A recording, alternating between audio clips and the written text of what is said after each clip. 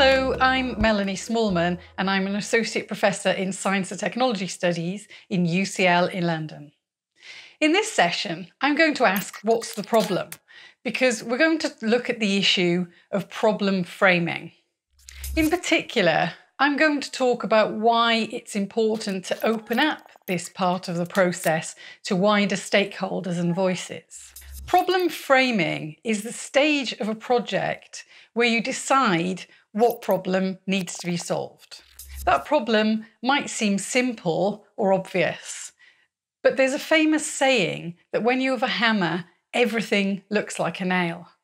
So the nature of the problem looks different according to the kinds of tools at your disposal.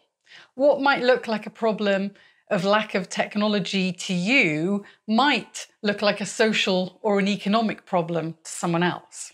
For example, if you were to set about designing a prosthetic limb, what's the problem you're solving? Is it a missing limb? Is it a missing function? Or is it maybe a social stigma?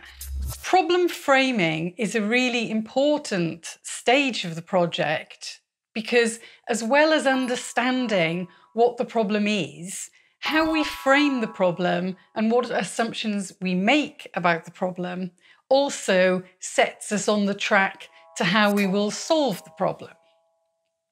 And this raises big questions about power, about how and who gets the power to decide how we frame and how we solve the problem.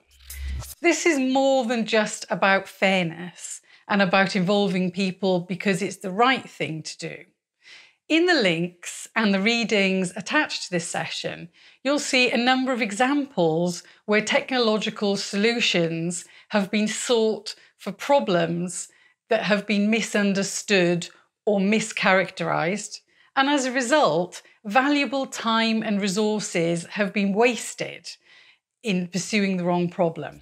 Evgeny Morozov has described this problem as solutionism, which he describes as an intellectual pathology that recognizes problems as problems based on just one criterion whether they're solvable with a nice, clean technological solution. In other words, things become problems because we have tools to solve them rather than because we've decided they're things that need to be solved. He uses the example of self tracking devices. We can now measure and monitor our calorie intakes, our exercise levels, or our electricity use in our homes. But is the problem of climate change or obesity really one of insufficient self knowledge or personal responsibility? Are these apps alternatives to regulating the food industry or maybe economic reform to tackle climate change? What is the problem here and what are we trying to solve? So, this is a problem for two reasons. Firstly, solutionism means we're putting in time and effort and resources, but still not really solving the problems that need to be solved. Secondly, solutionism forces us to oversimplify complex problems. So, in an earlier session, I've talked about wicked problems, problems that are complex, unclear, and contested. I argued that most of the problems we're facing, from climate change to care for the elderly, they fall into this category of wicked problems. That means that to solve the most challenging problems facing us right now, we need to look at the issues from multiple perspectives to fully understand the problem and to get a solution that works. Maybe we also need to think about what problems need to be solved and which ones can be left alone. What should we leave imperfect in the world? We need to think really hard about five key questions here. So, firstly, what is the problem being solved? Secondly, whose problem is it? Thirdly, who should be solving the problem? And the big question is it us? Are we the right people? Fourthly, how can this sort of problem be solved?